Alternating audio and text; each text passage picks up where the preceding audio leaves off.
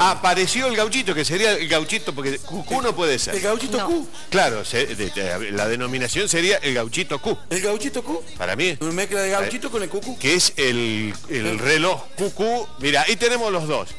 A la derecha, a la derecha, a la derecha, el de Carlos Paz. Claro, la cucusa. A la izquierda tenemos, ahí está, el de Jesús. María.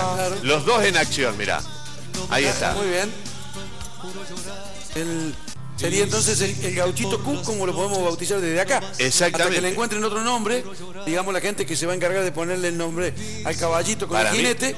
Para- pero el gauchito Q sería un buen nombre. Para mí estaría bueno el gauchito Q. ¿Qué vas a ver a, a Jesús María el, gauchito Q? El gauchito Q. ¿O Claro. qué vas a ver a Carlos Paz? Al cucú. Al cucú. Porque es el original. Exactamente. El original. Exactamente. Bueno, está bueno los dos, como atractivo, lindo para tener Bueno. una fotito con el. ¿Cómo no va a tener una fotito en el living con el gauchito Q? El gauchito Q, ahí está. El gauchito Q frente al cucú. ¿Cuál te gusta más? Bueno, Claro.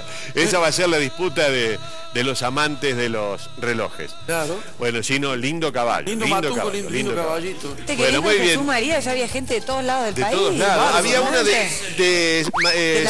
Saturnino María Las Piur. ¿Vos no tenías una novia en Las Piur? Bueno, no era de las mejores lagartos, pero tampoco era de las peor. No, ah, de Saturnino María, De sí. Saturnino de María. las Piur, del Bueno, muy bien.